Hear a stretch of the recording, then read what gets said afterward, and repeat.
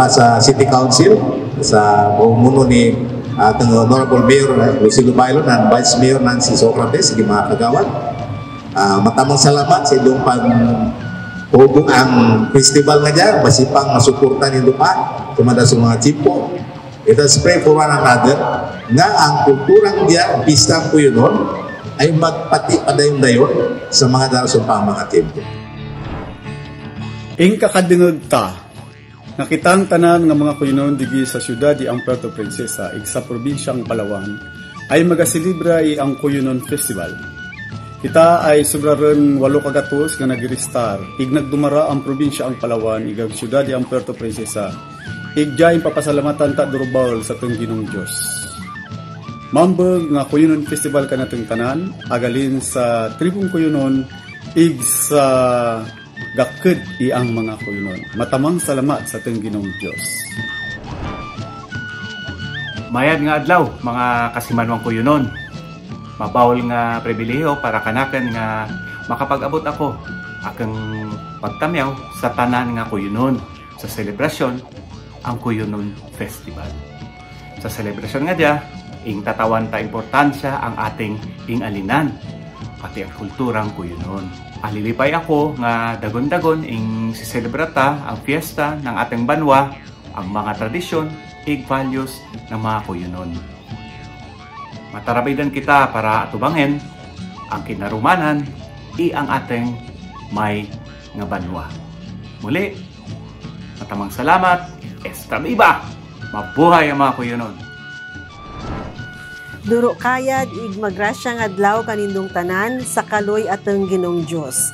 Andan kamong tanan ay samayad nga paglalawasen, araing si Sintiang beke matinglo sa mga timpong dya sa luyo ang ateng ingatuba nga pandemya.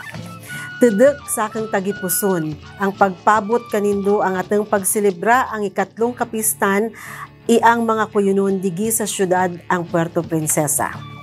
Kapareho iyang aglubas nga mga dagon sa timpong dya, ing dadumdum ta, ig ing papadayon ta, ang mga nakaugalyan ang ateng kulturang kuyunon, mga ing sublita pa sa ateng mga gurang-gurang. Duro ambeng sa dadiya kang asisintyan, tenged digi kamo maski virtually lamang, para magpasakop sa kapistan ang ateng kultura. Duro katinglo nga gaburunyog-bunyog kita para parabungon ni usto at ang mga kinaugalyang kultura ang samayad ig sa matinglo. Para mamanduman ang susublyan i ang mga madarason pang mga henerasyon para hindi madura sa istorya ang Palawan ang kulturang kuyunon. Maliag kuray pabot kanindong tanan nga magpadayon kita sa mabaskeg igmayad nga paglalawasen. Tumanen ta kung ano ang dapat buhaton para sa atong mayad nga pangabwi hasta sa magabot kita sa timpong ing tatawag nga new normal. Ig pinakaimportante sa tanan, pakitawon ta sa atong Ginong Dios anang grasya ig kanugon hasta daron na kita sa mayad ig matadleng nga pangabyon. Mambe nga kapistan kanatang tanan. Ang kulturang kuyunon demdemen, iselebra, ig ipadayon. Mayad nga adlaw kanindong tanan. Malipayng pista ay ang mga kuyunon. Matamang salamat sa indong pag-imbitar kanaken. Tatlo kadagon kita rin aga silibra ay ang pista ay ang mga kuyunon. Maski may inaatubang kitang pandemya, hindi talipatan agbalikid sa atang ing alinan. Kaloy sa Diyos, na matapos ang pandemyang dya, matarabid-tabid kitang magselebra. Amblik kitang tanan. Matamang salamat.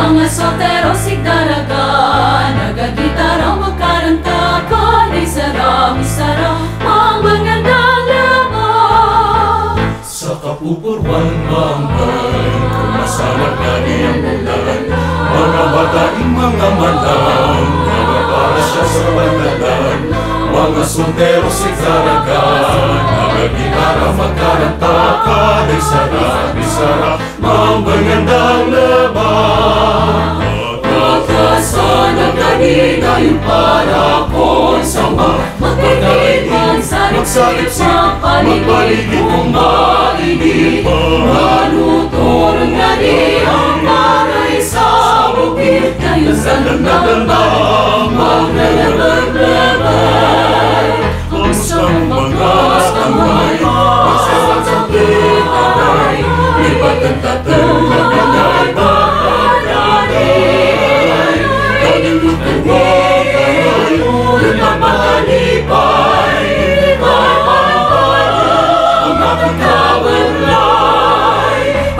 Sumumangas kamay Pagsasat sa kitaray Lipatan tatang kapalay Mapanari Nailugan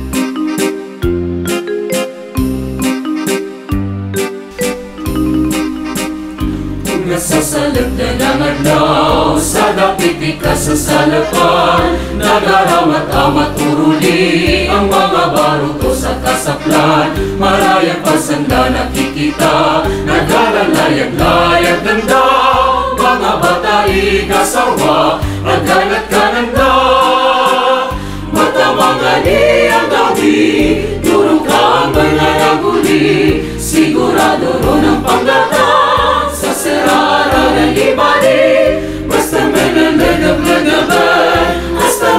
Kilo, kilo, and bamba, and bamba.